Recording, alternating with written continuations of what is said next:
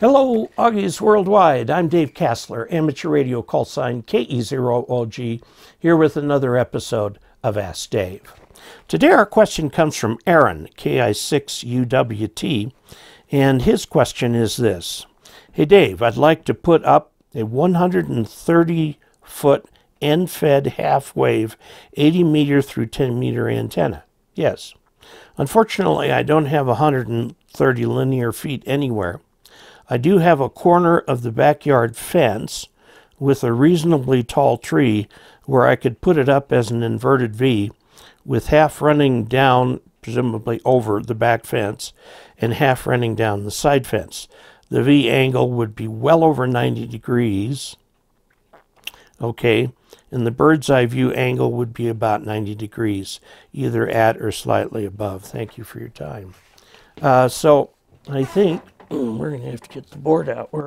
If you take a bird's eye view of what's going on, he's got his house over here, and we're looking down, and this is the side fence, and this is the side, and this is the back.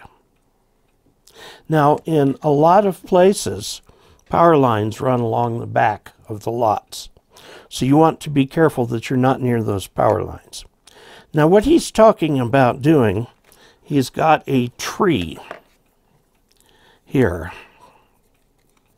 Okay, that's a tree. I have to tell you that because otherwise you wouldn't know from looking at it.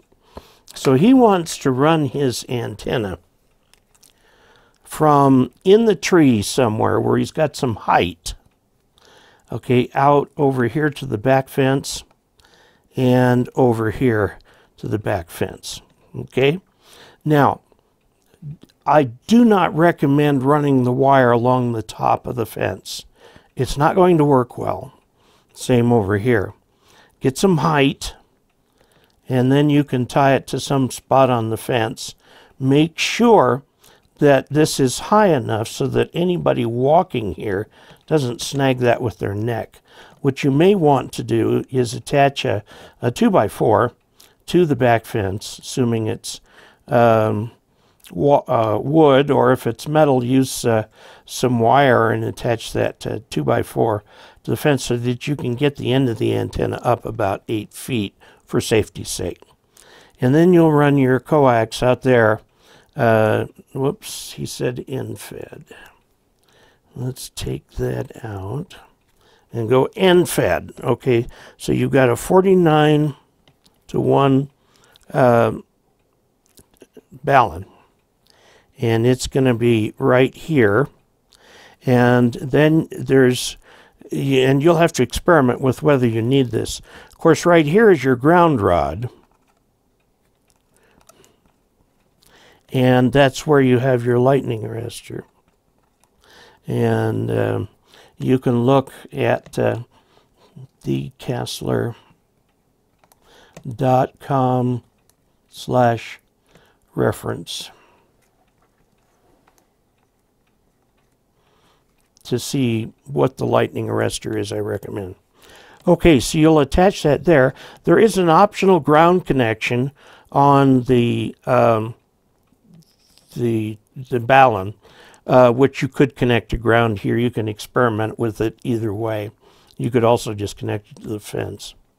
Um, although that will charge the fence a little bit. Maybe you don't want to do that for safety reasons.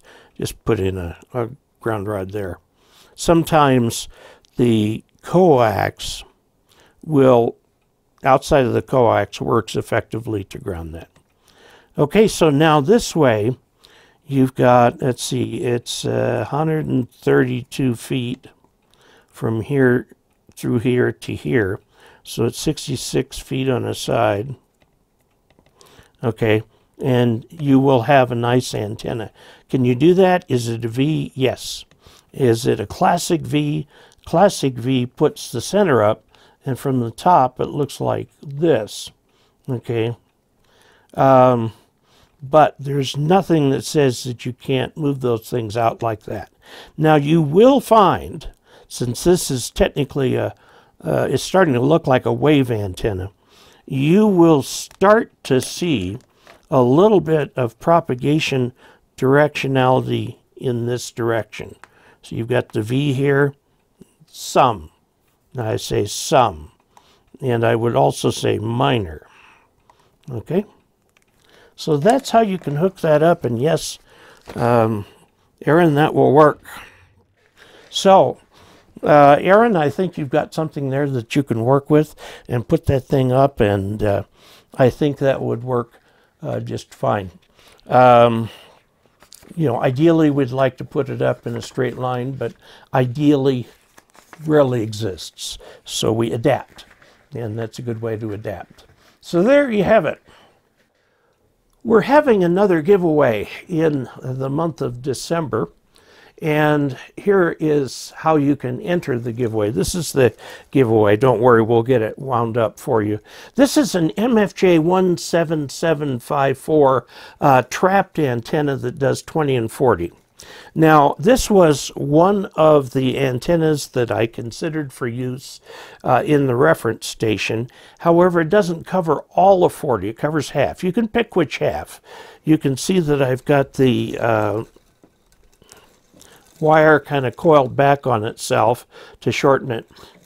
The 17754 comes deliberately too long, and so you have to uh, shorten it. And so they provide these little things with uh, uh, screws here that uh, attach the wires together, and you can use those um, to do your adjustments, or you can just bend the wire back like I did there. This is made of bare copper. It has been outdoors for quite a while. It is in perfectly good working order, and this will be uh, giveaway number five. Giveaway number five.